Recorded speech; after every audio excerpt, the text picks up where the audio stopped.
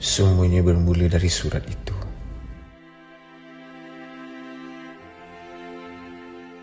Yang aku sendiri tak tahu apa isinya. Jelas membuatkan hidup mak dan aku jadi kucak kacir.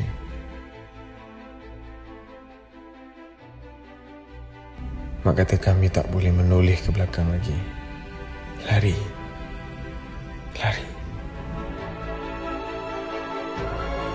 animal